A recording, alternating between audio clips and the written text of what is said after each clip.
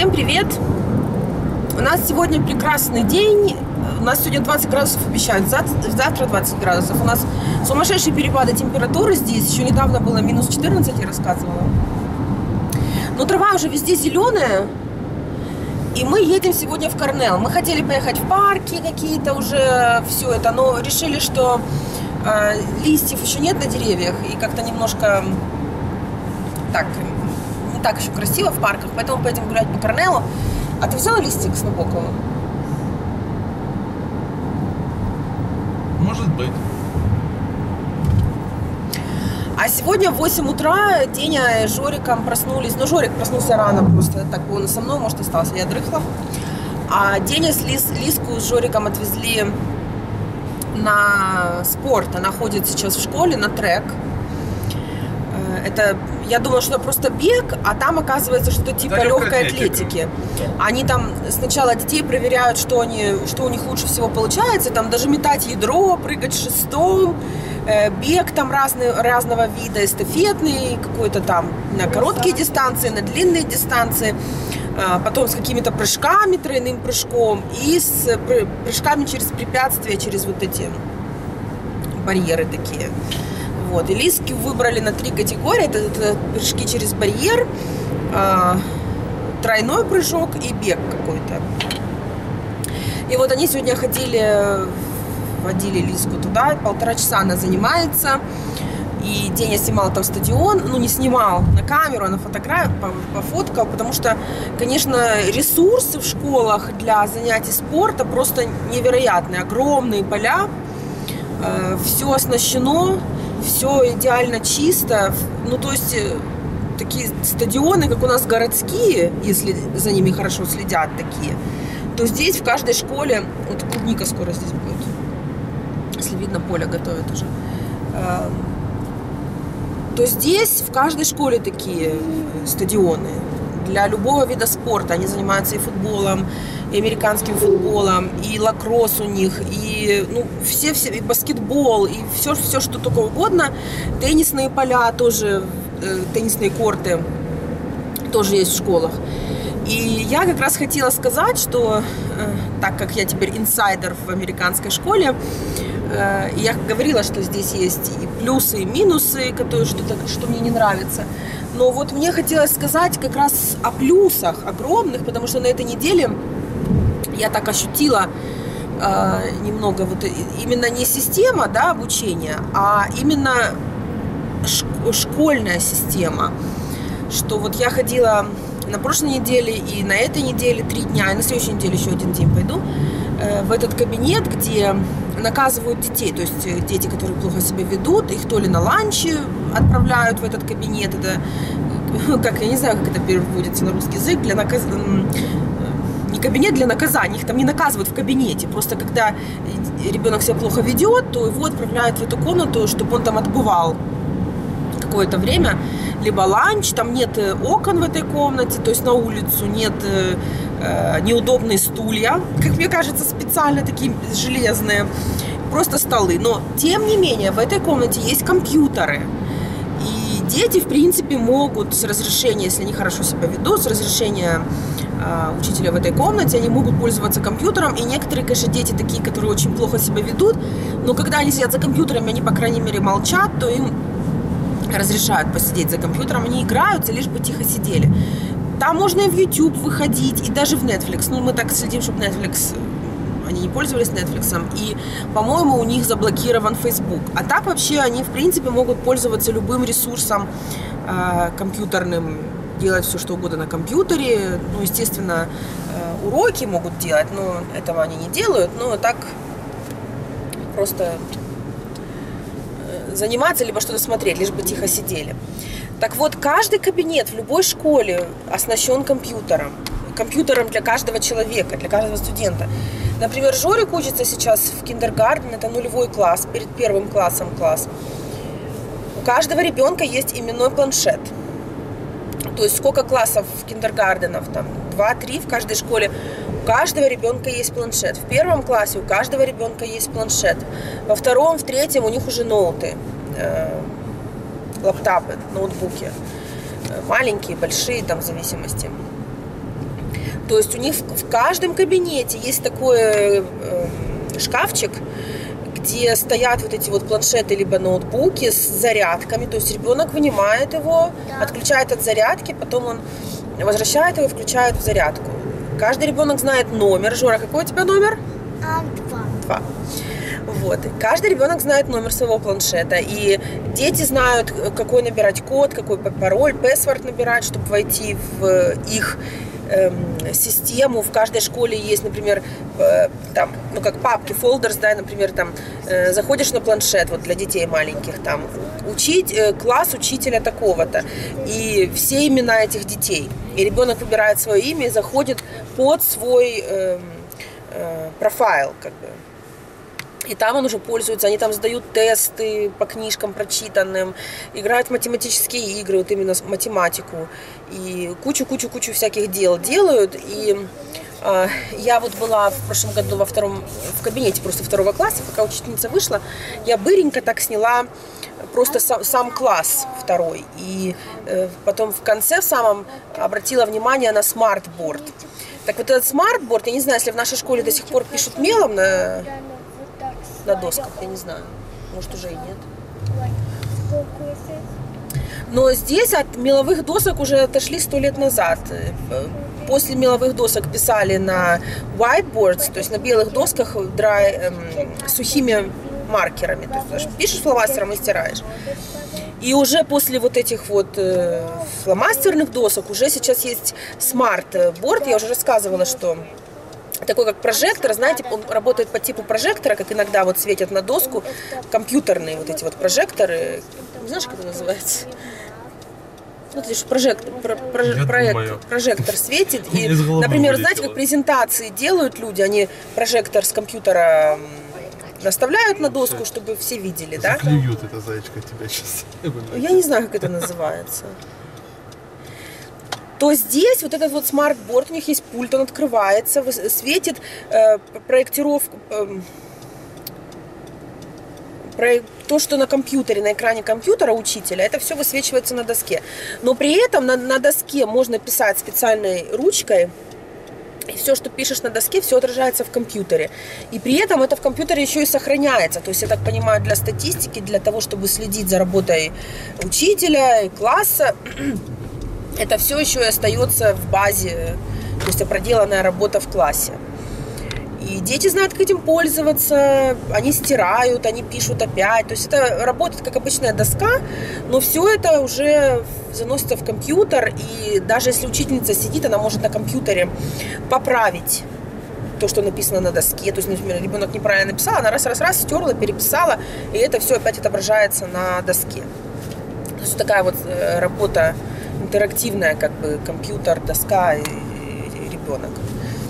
И также они, конечно, на этой доске, они проходят теперь все, они, у них телевизоров нет. А во всех это школах? Во в каждой школе, в каждом классе. Во всех школах абсолютно. Это отметишь, что мы в селе живем. Да. То есть мы живем в деревне, да, можно сказать, в маленьком городке. И, знаете, есть школы хорошие, где... Эм, побогаче. побогаче дети ходят. Есть школы, те, что районы победнее. Но в каждая школа, каждый класс оснащен вот этими вот всеми вот всеми, туда всеми, всеми. эти 50 э, миллионов. Да, вот эти, каждый этот smart board стоит тысячи, несколько тысяч все это работает, все это, всю, всю классную работу учителя проводят, например, они там для переменок, там иногда для того, чтобы дети размялись, они там включают какие-то такие там танцы для детей, там детские или что-то, все это видно на доске, и все это дети делают. Потом какие-то там игры они тоже играют, интерактивные такие, развивающие, тоже все с этими досками. То есть э, вся работа проходит вокруг этой доски, все объяснения, все, и учитель это все на компьютере делает, все это дети видят на доске. То есть очень удобно. И все это стоит больших денег. Э, также мне очень просто поразило то, что э, я на этой неделе как бы там в один период коротенький была с мальчиком, который, э, у которого даун-синдром. Он в первом классе, и у него очень плохой слух, по-моему. Но он слышит, но плохо, и у него стоит слуховой аппарат. Так вот, учительницы, которая представлена лично к нему, к этому мальчику, конкретно следит за этим мальчиком, занимается с ним, ну, в общем классе, но она все время с ним. У нее на шее висит эм, такое, как это не знаю, устройство, которое она говорит, и там микрофон, чтобы этот ребенок лучше слышал. И также этот ребенок вообще не говорит, он так и не научился говорить до сих пор. Может научиться, но к этому моменту он еще не говорит к первому классу. Он, он там у, а, вот такие только звуки издает. Ему выдали такой планшет, он в резиновом таком чехле, потому что этот ребенок может его уронить, конечно, с подставкой этот планшет. И этот ребенок не умеет говорить, но он ходит на уроки логопеда и все. И этот логопед объясняет ему, как пользоваться этим планшетом, чтобы он мог высказать свои э, требования, ну какие-то свои там, что, он, то, что ему нужно. На планшете занесена вся база и все программы э, слов, выражений, просьб. И этот ребенок знает, вот он открывает, на экране такие вот э, иконки, как бы, картинки. И одна картинка обозначает, там, например, фразу Э, а можно мне, можно мне, например. Он нажимает на эту кнопку, и планшет говорит голосом. А можно мне? И дальше на выбор, что, что он хочет. Там, карандаш, э, тетрадь, там, пойти в туалет или все такое. И он нажимает эту кнопку, и планшет как бы за него говорит, можно я пойду в туалет? Или там учительница дает ему раз, разукрашку раскрашивать, и он опять нажимает эту кнопку. А можно мне... Э, дальше следующую кнопку называет синий фломастер, например. Ученица ему дает желтый фломастер, говорит, на тебе синий фломастер. Он нажимает кнопку, говорит, нет, не этот, планшет за него говорит. И опять нажимает кнопку, а можно мне? То есть они вот э, учат, как обращаться к людям, посредством вот этого планшета. Я так понимаю, что это стоит очень больших денег, сами вот эти вот все устройства, и слуховые, и вот эти, и планшеты, и все. И все это оплачивает школа. Это все школе есть. И всем этим дети пользуются, их учат, как этим пользоваться. И очень много есть дети, процент какой-то детей с Даун-синдром, детей аутистов, которые ходят в школе, каждому этому ребенку представлен человек, который занимается с ним. Есть дети, которые немножко такие нервные, возбудительные такие, и них оборудованы в школе специальные комнаты для них или специальные уголки для них. Например, там э, к каждому ребенку отдельный подход. Вот один ребенок, он, ему нужен отдых, каждый там час, например. И висит в, там в коридоре, в, там, в таком уголочке качелька. И вот его приводят на ту качельку, она такая, как качелька наподобие гамака. И он садится в него, и 10 минут она его качает, там с ним разговаривает, он успокаивается, возвращается на урок. К другому ребенку он приходит в специальную комнату, у них такая есть, эм, видно, тоже для ну, специально, видно, разработанные такие предметы для успокоения. Типа пластилина, но он такой тягучий, как такой более такой жидкий, что ли. И вот они, эти дети, с этим пластилином сидят. Некоторые детям разрешено в классе сидеть с этими пластилинами, они просто успокаиваются, когда слушают там урок, и учителя за них иногда пишут там какие-то... То есть каждому такому ребенку представлен учитель. И он, этот ребенок по школе из года в год проходит, конечно, у него уровень чуть меньше знаний, но его переводят из года в год в следующий класс, чтобы он социализировался, то есть чтобы он не оставался на уровне ну, маленьких детей, а чтобы как бы социально он э, шел дальше. И заканчивая школу, им тоже предлагают разные программы, я думаю, там для работы, для дальшего какого-то развития, чтобы они были более самостоятельные. Но э, Возвращаясь вот к этой комнате с непослушными детьми уже в school, в старшей, в старшей школе, э, вот этим детям, которые плохо себя ведут ужасно, они просто, знаете, вот и у нас такие есть, они просто не хотят учиться, они просто не хотят ничего делать, они просто там хулиганы, они хвастаются тем, что, о, а я третий раз в восьмом классе сижу, это типа круто, ты, о, ты крутой, ты вообще там круче меня, я вот только второй год в восьмом классе сижу. Ну, к примеру, ему 15 лет, он сидит э, два года уже в одном классе. Так вот, этим детям, э, они психически, то есть у них нет никаких отклонений таких ментальных, но вот они вот Видно это влияние семей, это не видно, это сто процентов влияние семей, потому что у них проблемы в семьях, у них один там мальчик, э, э его забирали из семьи, потому что у него очень неблагополучная семья, и отдавали э, фостер, э, называется фостер family, как к приемным родителям, но это люди, которые просто берут детей как э, на время, да, вместо детских домов, тут нет детских домов, и семьи разбирают детей, и им за это платит государство, что у них эти дети жили. Так вот, ему очень нравилось в чужой семье жить. Он не хотел возвращаться к своим родителям. Его забрали туда, ему там нравилось. Но родители потребовали его каким-то образом обратно. И представьте, его вернули из этой семьи к родителям. И у него там очень-очень сложное положение в этой семье. Но, тем не менее, эм, он там живет, и его заставляют ходить в школу, за ним следят, чтобы он ходил в школу, его заставляют ходить в школу. За ним в школе следят, по пятам просто ходят директора и все, и э, отправляют в этой комнате, в этой комнате, в этой комнате за ним следят, ему приносят э, уроки, чтобы он делал. Учитель, который находится в этой комнате, просит его делать эти уроки, заставляет там упрашивает какими-то любыми способами. Приходят учителя э, каждый урок там или через урок разные, там математики, испанского, английского там разные, и пытаются с ним заниматься. То есть э, учителя направлены в этот кабинет, чтобы отдельно заниматься с этими детьми, которые не хотят учиться. На все это, конечно, уходят силы, деньги и э, вообще на, насчет того, что каждому ребенку такое внимание выделяется, это огромный-огромный плюс. Другое дело, что эти дети вырастают порой вот эм, то есть этим занимаются с детьми до 11 класса. 11-12 класс, это знаете, как у нас уже там был 10-11, то есть после 9 класса у нас уже можно уходить там в техникум куда-то, куда-то. То Обычно э, такие дети ходят до 11 класса, потом они просто бросают школу, и э, государство уже как бы не берет за них ответственность. Так вот, они вот досиживают, просто дотягивают до этого 11 класса этих детей в надежде, что может быть что-то с них получится. Э, многие, конечно, так дети просто досиживают уже уходят, и они настолько привыкают к тому, что за них все делают, что они просто наглеют еще больше и э, понимают, что им просто в рот все вкладывают, что некоторые дети, например, там один мальчик принес нож в школу, и его наказали, его выгнали со школы на два месяца. При этом все равно государство обязано его обучать. Поэтому отдельным учителям платят деньги, там, учителю истории, учителю математики, учителю там, ну, разным разным учителям. И они встречаются с этим мальчиком каждый день на час где-то в библиотеке в городской, и каждый учитель встречается с ним и обучает его, все равно пытается его учить. Государство, конечно, оплачивает этому учителю деньги за его работу. Штат.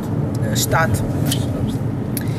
Поэтому, да, и эти дети, они вот наглеют, и э, я вот спрашивала у этого учителя в этой комнате, говорю, ну а что, никак, как они вообще думают, они будут дальше жить? Он говорит, никак, они просто э, вырастут, до, до, достигнут определенного возраста уйдут на welfare, уйдут на пособие от государства. На это они и рассчитывают. Видимо, родители у них точно так же живут уже вот всю их жизнь, и дети.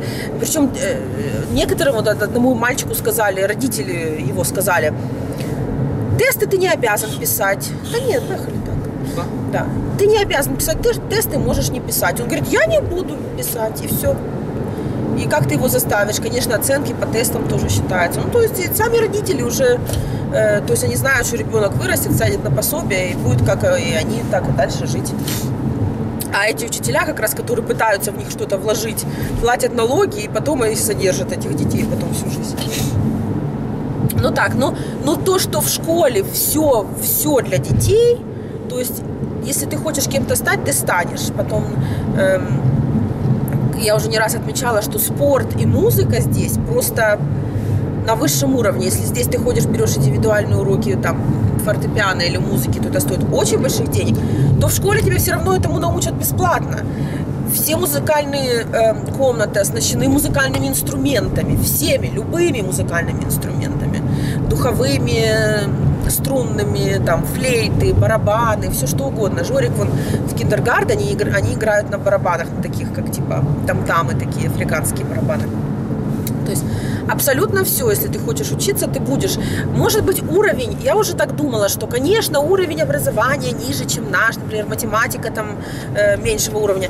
Но с другой стороны, может быть, у нас просто этого было много. Ну, не, не обязательно, что у других должно быть столько. Просто э, профессию-то они получают достойную. Как, если они, например, выбирают себе эту профессию, то их там повышают, повышают. И здесь еще, к тому же, люди э, привыкли учиться всю жизнь, если они хотят получать, повышать свой уровень знаний, уровень там профессиональный и так далее, они просто учатся всю жизнь. Они учатся работой, они учатся там онлайн, учатся, учатся, учатся, и некоторые просто не перестают учиться всю жизнь. Ну вот, что я хотела сказать по поводу плюсов в американской школе. Это просто, просто поразительно, насколько это все эм, поставлено, насколько детей, каждого ребенка, каждому пытаются уделить внимание, и каждому пытаются что-то вложить, то это просто поразительно. А сейчас отдельным видео э, я буду рассказывать и показывать, как мы сегодня отдыхаем. На цветочки заедем?